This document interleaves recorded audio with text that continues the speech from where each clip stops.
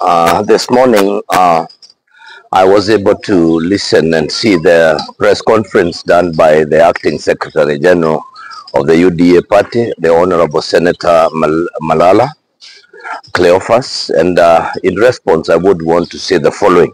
Number one, uh, it is important for us to say that uh, the genesis of this matter is the disrespect to the current deputy president Rigathi Gachagua. And I still hold on to the uh, my statement that the deputy president who is also the deputy party leader of the U- United Democratic Alliance must be respected and given the respect deserving of that position. He is also the deputy president of this republic.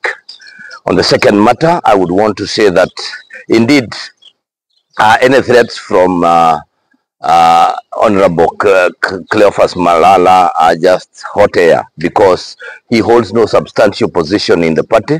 Nobody elected him. And uh, yes, I think I, I would want to say that uh, Honorable Cleophas Malala being in the United Democratic Alliance as Secretary General is just uh, like a square peg in a round hole. It does not fit.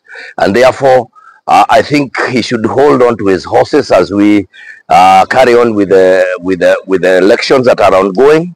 And one of the targets must be that we'll be able to get him out of that position. And I have said this before and I will repeat that you must be in a party to bring value.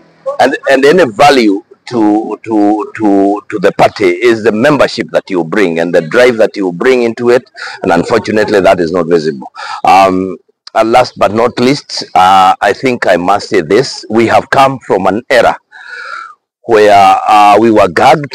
Uh, you could not say what you thought, and we could not speak our minds. We were almost denied freedom of expression. It is unfortunate that uh, we are almost heading in the same direction. The UDA party and the Kenya Kwanza government was never founded on such tenets where you would not be allowed to say what you think and what you believe in. And therefore, it is uh, uh, my pledge that uh, we must keep on being allowed to speak. We will speak our minds now, tomorrow, and we will continue speaking uh, what we think is good for this country and what is good for this party. Thank you.